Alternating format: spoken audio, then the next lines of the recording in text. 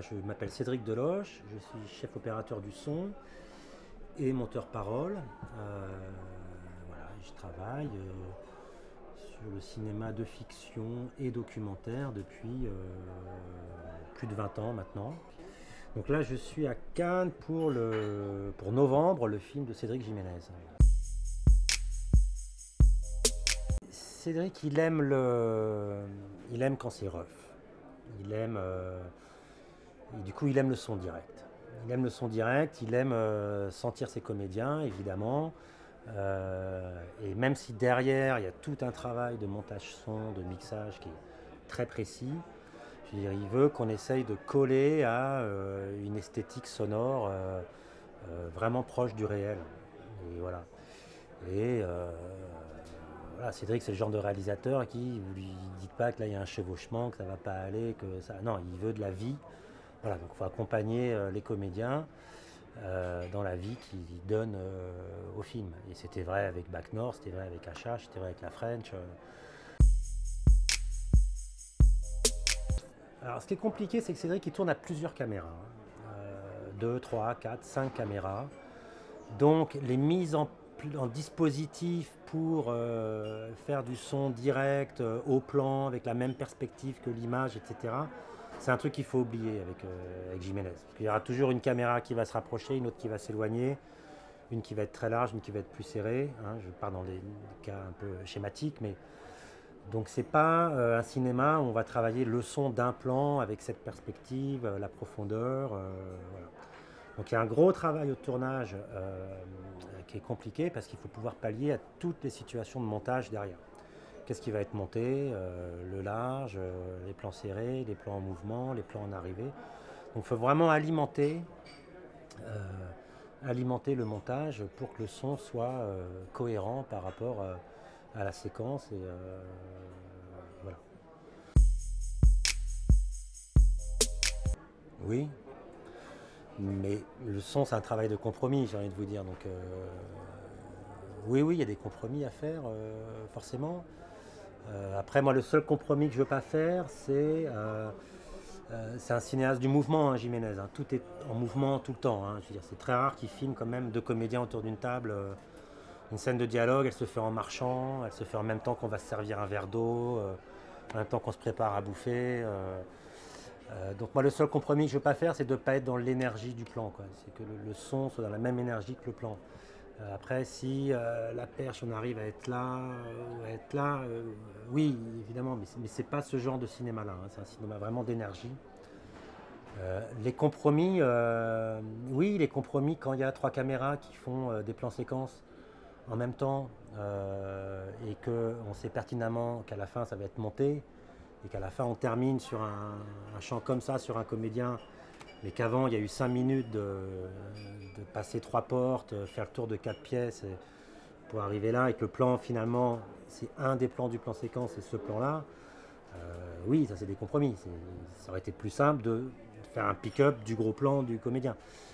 Mais c'est pas son cinéma. Je veux dire, moi je lui propose pas ça parce que je sais que je vais me faire envoyer sur les roses. Il aura raison. Enfin, c'est pas son cinéma. Il a envie de filmer euh, euh, les comédiens qui jouent la séquence du début à la fin. Euh, moi, je travaille avec un enregistreur principal qui est un Cantar X3 de chez Aton, euh, qui a fait ses preuves aujourd'hui. Hein. Euh, je travaille avec la gamme de micros, les Sennheiser, la série 8000. Voilà, ce sont des micros que j'aime beaucoup, mais les micros, c'est comme les couleurs. Hein. Chacun a le micro qu'il aime, moi, c'est un micro. c'est une, gamme qui me permet de faire à peu près ce que j'ai envie de faire. sur les HF, je travaille avec DPA et Visicom. après, j'équipe pas tout le temps. Euh, et voilà, quoi. J'essaye d'être de plus en plus léger, ce qui n'est pas toujours facile. J'essaie d'avoir beaucoup de matériel au camion et peu à la face.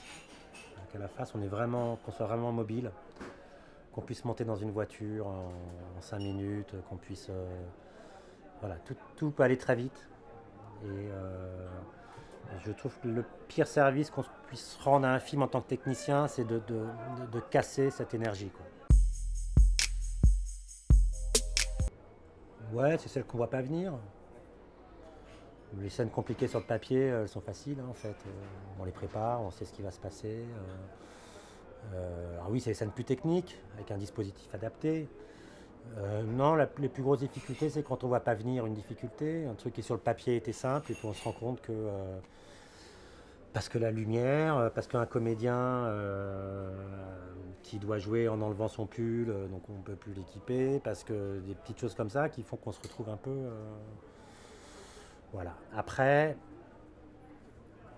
à part les plans très larges où le réalisateur veut entendre ce qui se dit, je veux dire, moi je pars du principe que une perche, un perchman, une piste, on arrive à rentrer, on arrive à rentrer la séquence. Hein. Après, on fait plein on adapte, on fait plein de trucs, on, sort plein de petits micros, on peaufine, mais, mais en vrai, euh, une perche euh, intelligemment placée par rapport à la perspective du plan, je veux dire, ça nous ramène l'histoire, ça nous ramène ce qui s'y passe. Hein. Euh, donc oui, avec les scripts, on a une bonne connivence. souvent, on se parle aussi avant d'aller parler au réalisateur ou à la réalisatrice. On va, j'ai trouvé que là, on euh, comprenait pas bien, ou est-ce que c'est juste de dire ce mot-là dans cette phrase euh, Est-ce que cette phrase elle tient debout euh? Et leur fait Ah oui, c'est vrai, tu as raison. Et là, là, on va en parler au, réalisateur. Moi, j'essaye de ne pas solliciter les réalisateurs ou les réalisatrices. Hein, pour moi, c'est la même chose. Hein, c'est celui qui fait le film ou celle qui fait le film.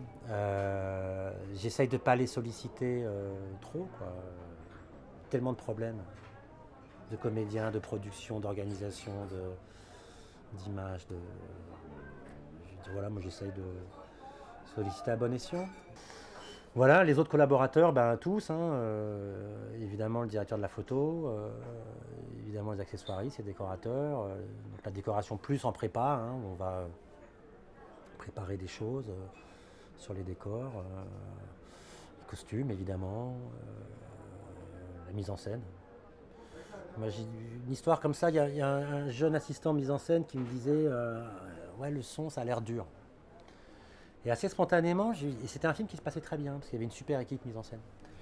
Et je lui ai dit En fait, le son, c'est un travail d'équipe. C'est-à-dire que le son direct, c'est facile si toute l'équipe a envie qu'il y ait du son direct. Et là, c'est assez facile. Il euh, faut être concentré, mais c'est facile. En revanche, si tu es seul avec ton perchman à faire le son d'un film, bah, là, c'est extrêmement difficile. On a besoin euh, que toutes les personnes qui travaillent sur le film aient conscience que euh, notre travail n'est pas facile et qu'il faut nous aider dans notre travail.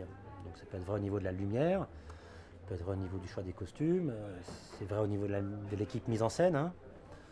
ils sont seuls à faire avec des figurants. Si vous sentez que ça emmerde tout le monde et que c'est la croix et la bannière et que la moitié des figurants ils sont déjà à la cantine, vous allez faire quatre fois et puis au bout de 5-6 semaines, faites plus. Euh, si au moment de faire le sourcil des figurants, ça amuse tout le monde de le faire, tout le monde est d'accord pour le faire, et il y a quelqu'un qui va euh, gérer les figurants et leur expliquer pendant que vous vous préparez, bon ben voilà, c'est le travail de l'équipe, c'est le travail pour le film, voilà, mais, après globalement ça se passe bien. Hein, Euh, oui, oui, le montage parole euh, sur les films de Jiménez, euh, ouais, ouais, on monte à, 9-10 semaines. Hein. Pourquoi? Parce que j'ai beaucoup de pistes, qu'à un moment donné, il y a eu quatre plans qui sont faits en même temps, dont un plan de départ, un plan d'arrivée, la caméra était à 50 mètres de la première, un plan large et une caméra planquée dans la voiture. Donc tout ça, moi, je l'enregistre en même temps. Donc autant vous dire que dans le casque, c'est compliqué, hein. j'ai une espèce de mélange auquel je fais confiance. Je sais que les choses, c'est pour ça que les perchman c'est primordial, hein. je sais que le perchman est en place. Voilà, et après, euh, ces cinq plans qui ont été tournés en même temps, au montage, c'est cinq plans différents. Hein. Au son, non. Au son, c'est euh, un fichier avec plusieurs pistes.